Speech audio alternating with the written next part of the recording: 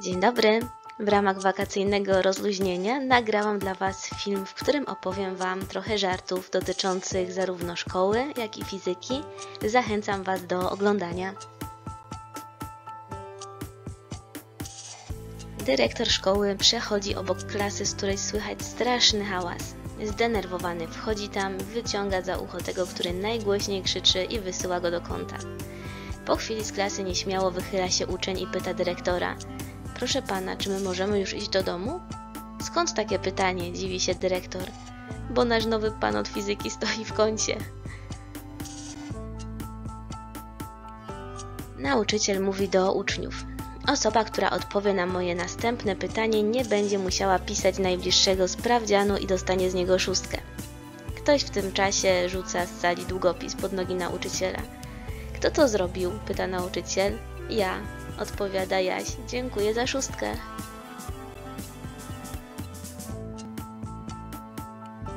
A teraz żart z serii zrozumieją tylko ci, którzy uważali na lekcjach fizyki, więc jeśli ktoś tego żartu nie rozumie, to polecam powtórzyć sobie materiał, który był przerabiany na początku siódmej klasy, a żart brzmi następująco.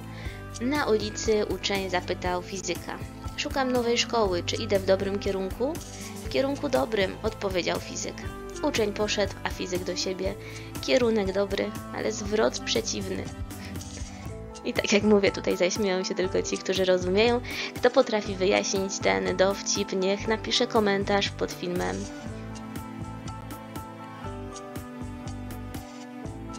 Uczennica pyta nauczycielkę. Proszę pani, czy można być karanym za coś, czego się nie zrobiło?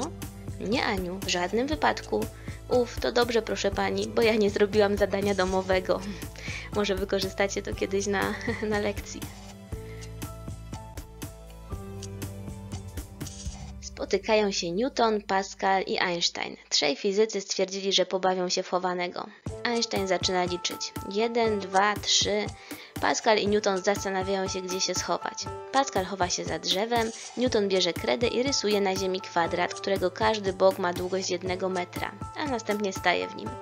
99, 100, szukam. Einstein odwraca się i widzi za sobą Newtona. Ha, mam cię Newton, mówi zadowolony. Nie, nie, nie, odpowiada Newton. Ja jestem jeden Newton na metr kwadratowy, czyli Pascal. Znalazłeś Pascala. To też był żart z serii, zrozumieją tylko ci, którzy uważali na lekcjach.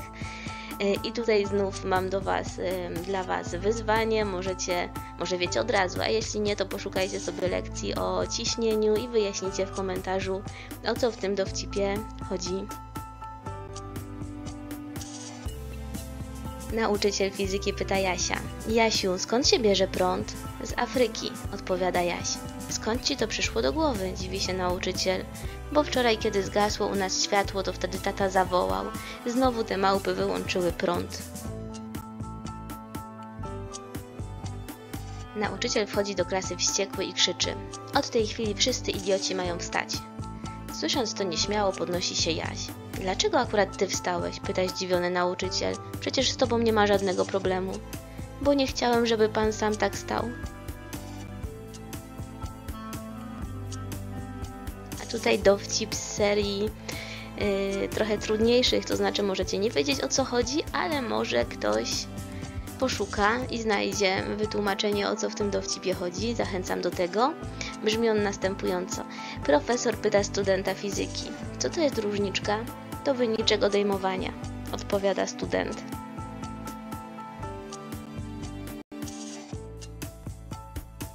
Nauczyciel kazał Jasiowi napisać w zeszycie 100 razy.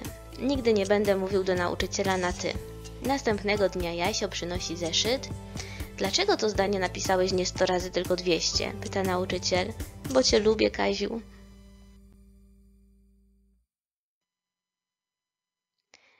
Ten nasz nowy nauczyciel jest bardzo pobożny, mówi syn do rodziców. Dlaczego tak sądzisz? pyta ojciec, bo kiedy jest z nami w klasie, to ciągle wzdycha. O Boże, o Boże. Nauczyciel mówi do Jasia. Niemożliwe, że rozwiązałeś tak trudne zadanie sam. Przyznaj się, kto to rozwiązał, tata czy mama. Nie wiem, spałem już, odpowiada szczerze Jaś. Panie władzo, szybko, tam za rogiem, ulicy, wołają dwaj zdyszani chłopcy do przechodzącego policjanta. Co się stało? Tam nasz nauczyciel matematyki. Wypadek? Nie, on nieprawidłowo zaparkował. Skończył się rok szkolny, spotykają się dwaj koledzy. Jak u ciebie? pyta pierwszy. Niedobrze, ojciec zbił mnie dwa razy. Dlaczego dwa razy? Pierwszy raz, kiedy pokazałem mu świadectwo, a drugi raz, kiedy zorientował się, że to jego stare świadectwo.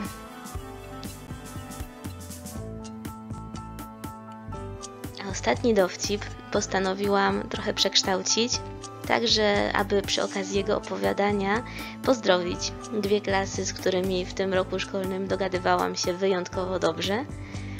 Eee, I dowcip brzmi następująco. Co to jest nanosekunda? Jest to czas, który mija pomiędzy dzwonkiem na lekcję, a idealnym ustawieniem się siódmej klasy, którą uczę przed wejściem do sali fizycznej. Siódmaki wiedzą o co chodzi. I jest to też czas tworzenia przez siódmą klasę niespodzianek, takich jak ta na zdjęciu po lewej stronie. I jeszcze raz chciałam Wam za to bardzo, bardzo podziękować.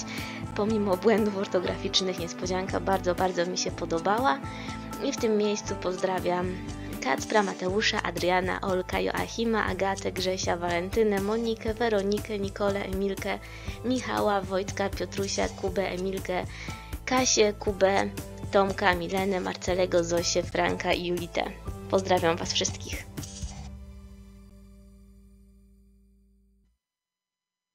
Na koniec ten sam dowcip w jeszcze innej wersji, co to jest nanosekunda. Jest to czas, w którym moi wychowankowie z 8C przygotowują niespodzianki, takie jak ta na zdjęciu obok. Bardzo Wam za tą niespodziankę dziękuję. Pozwoliłam sobie zamazać nazwiska, a resztę wszystko jest tak jak było w oryginale. Bardzo mi się to podobało. I nanosekunda jest to też czas, jaki minął od chwili, w której opuściliście szkołę, do czasu, kiedy zaczęłam za Wami tęsknić. Pozdrawiam w tym miejscu Rozalkę, Mateusza, Anię, Mateusza, Marysię, Nikolę, Antkę, Zuzię, Oliwkę, Łucję, Kubę, Łukasza, Oliwiera, Wojtka, Natalkę, Kacpra, Igora, Agnieszkę, Kamila, Maćka, Izę, Karolinę, Hanię, Patryka i Ale. Dziękuję Wam bardzo.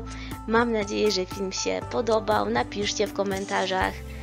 Yy, może znacie jeszcze jakieś inne dowcipy dotyczące szkoły i fizyki, możecie się nimi podzielić. Dziękuję Wam za oglądanie.